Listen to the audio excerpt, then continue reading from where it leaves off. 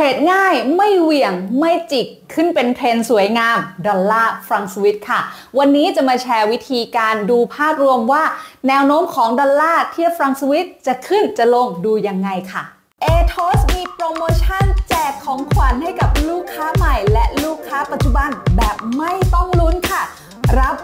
iPhone 15 และ gadget ของ Apple ไปเลยแบบฟรีๆ หรือจะเปลี่ยนเป็นเงินสด ทาง AETOS ก็มี option นี้ให้กับลูกค้า AETOS ค่ะ สนใจข้อมูลโปรโมชั่นเพิ่มเติม สอบถามเจ้าหน้าที่ ATOS ได้เลยที่ Line at AETOS ค่ะ ตัวดอลลาร์เทียบฟรังก์สวิสนะคะ เขาเป็นคู่เงิน major currency ค่ะ มีปริมาณการซื้อขายสูงถึง 4%ต่อวันนะคะ รองจากออสเตรเลียเทียบดอลลาร์แค่นิดเดียวเท่านั้นค่ะ ดังนั้นจึงทำให้มีปริมาณการซื้อขายที่น่าสนใจในแต่ละวันค่ะ การวิเคราะห์คู่เงินนี้นะคะ เราสามารถวิเคราะห์โดยปัจจัยพื้นฐาน โดยดูทั้งหมด 5 ตัวค่ะ ตัวแรกนะคะก็คือเรื่องของดอกเบี้ยค่ะ ตัวที่ 2 เงินเฟ้อ ตัวที่ 3 อัตราการว่างงาน 4 GDP และสุดท้ายค่ะ ภาคการผลิต ทีนี้เรามาดูในแต่ละตัวกันนะคะ มาเริ่มที่ตัวแรกกันค่ะ ก็คือตัวเลขของอัตราดอกเบี้ยค่ะ หากว่าประเทศไหนนะคะมีอัตราดอกเบี้ยที่สูงกว่า ก็จะส่งผลให้สกุลเงินของประเทศนั้นแข็งค่ามากกว่า เมื่อเราเอาอัตราดอกเบี้ยของสหรัฐในปัจจุบันอยู่ที่ 5.5ของสวิตเซอร์แลนด์อยู่ที่ 1.75 เอามาเทียบกันในลักษณะนี้เราจะรู้ทันทีเลยค่ะ ว่าตอนนี้ดอลลาร์มีแนวโน้มที่จะแข็งค่าเมื่อเทียบกับสวิตเซอร์แลนด์ค่ะ ปัจจัยที่ 2 ก็คือเรื่องอัตราเงินเฟอ้อค่ะ เงินเฟอ้อสูงก็จะส่งผลให้สกุลเงินนั้นอ่อนค่าใช่ไหมคะ เพราะว่ามูลค่าของเงินก็จะต่ำลงตามอัตราเงินเฟ้อ ดังนั้นค่ะถ้าหากว่ามีอัตราเงินเฟ้อสูงๆ ก็จะทำให้สกุลเงินนั้นอ่อนค่า เงินเฟ้อล่าสุดของสหรัฐอเมริกาอยู่ที่ 3.7%ส่วนของสวิตเซอร์แลนด์อยู่ที่ 1.7%ใครมากกว่ากันคะอเมริกามากกว่าใช่ไหมคะทำให้ภาพรวมของหัวข้อที่2เนี้ยค่ะที่เราเอามาเปรียบเทียบทำให้ดอลลาร์มีแนวโน้มที่จะอ่อนค่าถ้าเทียบกับสวิตเซอร์แลนด์ค่ะ หัวข้อที่ 3 ก็คือเรื่องอัตราการว่างงานค่ะ ถ้าสกุลเงินของประเทศไหนนะคะ มีอัตราการว่างงาน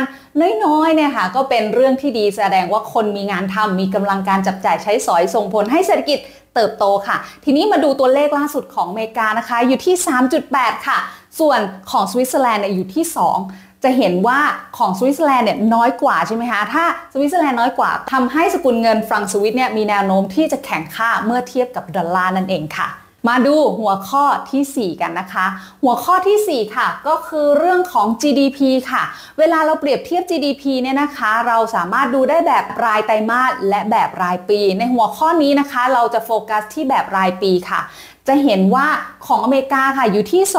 2.4%แสดงว่าเติบโตดีนะคะ แต่ถ้าเทียบกับสวิตเซอร์แลนด์จะเห็นว่าเติบโตเพียงแค่ 0.5%ถ้าหากว่าเทียบกันอย่างนี้ค่ะ เราจะเห็นว่า 2.4 ของอเมริกาดูดีกว่าเติบโตมากกว่า ถ้าเทียบกับสวิตเซอร์แลนด์ทำให้ดอลลาร์มีแนวโน้มที่จะแข่งค่ามากกว่าค่ะ และหัวข้อสุดท้ายนะคะก็คือ manufacturing PMI ค่ะ ภาคการผลิตค่ะ หากว่าตัวเลขนี้นะคะมากกว่า 50 ไม่ว่าจะเป็นประเทศใด ๆ ก็มีแนวโน้มว่าภาพรวมของการผลิตจะเติบโตนะคะ แต่ถ้าตัวเลขมันน้อยกว่า 50 เนี่ยก็บอกได้เลยว่าภาคการผลิตเนี่ยไม่ค่อยเติบโตส่งผลให้ภาพรวมเศรษฐกิจหรือ GDP เนี่ยก็ไม่โตตามค่ะ ดังนั้นตัวเลขที่ดีควรจะมากกว่า 50 และค่อยๆ ปรับขึ้นอย่างต่อเนื่อง ทีนี้เรามาดูของสหรัฐอเมริกานะคะ จะอยู่ที่ 50เลยในปัจจุบัน และของสวิตเซอร์แลนด์ค่ะอยู่ที่ 44.9 ถ้าเราดูแบบนี้เราก็จะเห็นได้นะคะว่าดอลลาร์มีแนวโน้มที่จะแข็งค่ามากกว่าสวิตเซอร์แลนด์นั่นเองค่ะ เอาละค่ะ พูดถึง 5 หัวข้อครบแล้ว เรามาดูกันดีกว่า เปรียบเทียบทั้งหมดเลยว่า ภาพรวมดอลลาร์กับฟรังก์สวิสอันไหนเนี่ยจะมีแนวโน้มที่จะแข็งค่าและอ่อนค่าในระยะกลางกันค่ะ ในแต่ละหัวข้อเราจะเห็นว่าตัวดอลลาร์ค่ะจะมีแนวโน้มที่ดีกว่าฟรังก์สวิสถึง 3 หัวข้อนะคะ ส่วนสวิตเซอร์แลนด์ชนะดอลลาร์เพียงแค่ 2 หัวข้อเท่านั้น ดังนั้นเราสามารถสรุปได้คร่าวๆในระยะกลางค่ะ ว่าดอลลาร์เทียบฟรังก์สวิสมีแนวโน้มที่จะปรับขึ้นมากกว่าปรับลงหากว่าดูที่ปัจจัยพื้นฐานค่ะ เมื่อเรารู้แผนระยะกลางของเราแล้วว่าดอลลาร์เทียบฟรังสวิตเนี่ยเขามีแนวโน้มที่จะปรับขึ้นมากกว่าปรับลง จากนั้นเราก็ต้องมาดูหน้ากราฟเราค่ะ ว่าปัจจัยทางเทคนิคเนี่ยสอดคล้องไปในทิศทางเดียวกันหรือเปล่า โดยเริ่มดูที่ time frame daily เพื่อดูภาพรวมของ market structure โดยจะเห็นว่าใน time frame daily ค่ะ ราคาเนี่ยวิ่งอยู่ในกรอบ 0.883 ถึง 0.875 หากว่าภาพรวมเนี่ยราคาสูงกว่าหรือยืนเหนือ 0.883 ขึ้นไปได้ก็มีโอกาสนะคะที่ดอลลาร์เทียบฟรังก์สวิสจะค่อยๆ ปรับขึ้นอย่างต่อเนื่อง แต่จะสังเกตเห็นลักษณะของการเคลื่อนที่ดอลลาร์เทียบฟรังก์สวิสค่ะ เขาเป็นคู่เงินที่มีปริมาณการซื้อขายเป็นอันดับที่ 7 รองลงมาจากออสเตรเลียเทียบดอลลาร์ใช่ไหมคะดังนั้นแท่งเทียนของเขาเนี่ยจะเป็นลักษณะที่แท่งสั้นๆ แต่เมื่อไหร่ที่มีปัจจัยพื้นฐานมาส่งเพิ่มเนี่ยก็จะทำให้เป็นแท่งเทียนที่มีความหนาความกว้างขึ้นนั่นเองค่ะ และเราก็จะเห็นภาพรวมนะคะว่าราคาก็ค่อยๆเคลื่อนไหว และค่อยๆปรับขึ้นอย่างต่อเนื่อง นี่คือลักษณะของดอลลาร์เทียบฟรังก์สวิสค่ะและนี่ก็คือภาพของการ forecast ดอลลาร์เทียบฟรังสวิตในระยะกลางนะคะ ตอนนี้ค่ะจะเห็นว่าราคาเนี่ยอยู่ที่ 0.8964 หากว่าราคาค่อยๆ ปรับสูงขึ้นเนี่ยก็มีแนวโน้มนะคะ ที่เราจะเห็นดอลลาร์เทียบฟรังก์สวิส ขึ้นไปที่ 0.91 หรือ 0.92 และ 3 ตามลำดับค่ะ หวังว่าเคล็ดลับในวันนี้นะคะ จะเป็นประโยชน์ให้กับนักเทรดทุกท่านไม่ว่าคุณจะเป็นมือใหม่หรือมือเก่านะคะ หากว่ามีคำถามหรือข้อสงสัยค่ะ คอมเมนต์ถามมาได้เลยนะคะ และตอนนี้นะคะ AETOS ก็มีโปรโมชั่นสุดพิเศษสำหรับลูกค้าปัจจุบันและลูกค้าใหม่รับของขวัญได้ตาม list นี้เลยนะคะ AETOS เนี่ยให้ไม่ยั้งเลยนะคะ แบบไม่ต้องลุ้น ถ้าสนใจนะคะ สอบถามข้อมูลเพิ่มเติมได้ที่ลิงก์ใต้คลิปเลยค่ะ หรือจะแอดไลน์ไปที่ @athost นะคะสำหรับวันนี้ต้องลาไปก่อนค่ะ ฝาก athost ด้วยนะคะ สวัสดีค่ะ a t h o s มีความมั่นคงและเชี่ยวชาญด้านธุรกิจการเงิน ให้บริการมายาวนานกว่า 15 ปี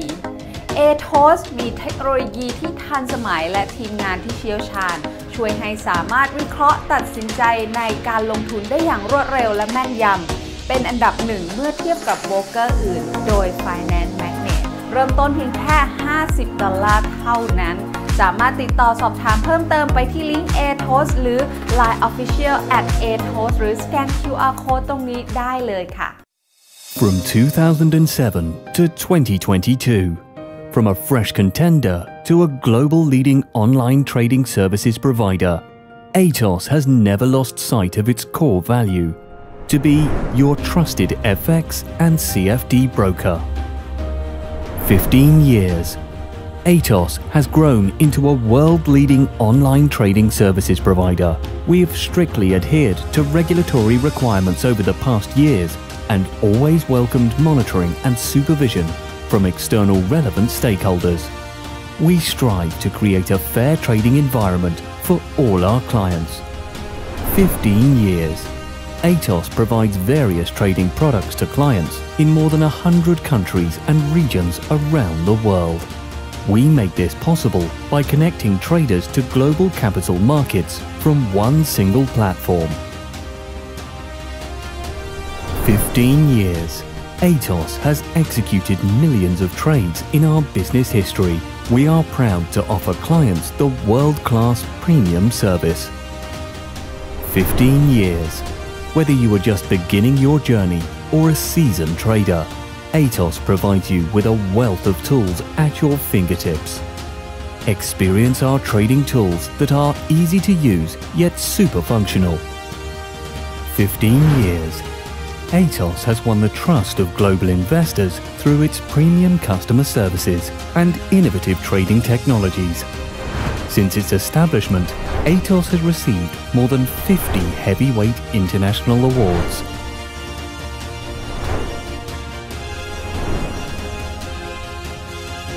We are a world-leading online trading services provider. It's time to trade with Atos. Are you ready?